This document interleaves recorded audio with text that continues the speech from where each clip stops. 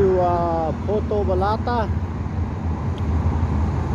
This is uh, the the main uh, beach strip right here. All the hotels are here.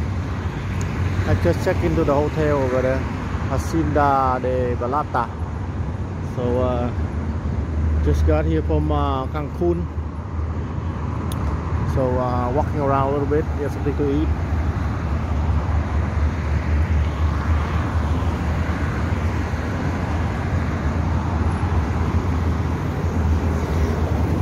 Like they have a bus running around all day here.